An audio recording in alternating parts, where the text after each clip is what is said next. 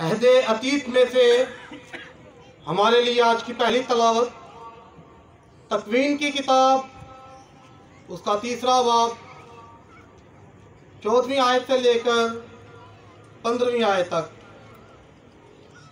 और खुदा खुदा ने शाम से कहा क्योंकि तूने ये किया, मलाउन है तू।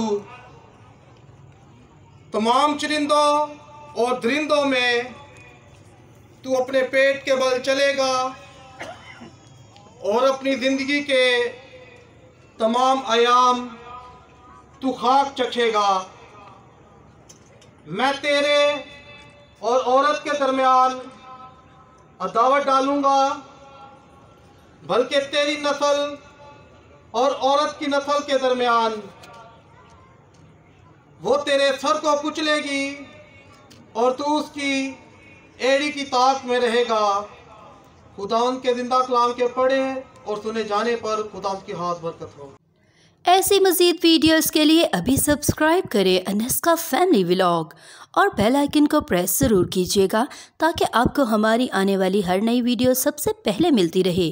कलाम को अपने दोस्तों से शेयर कीजिएगा। शुक्रिया। God bless you all.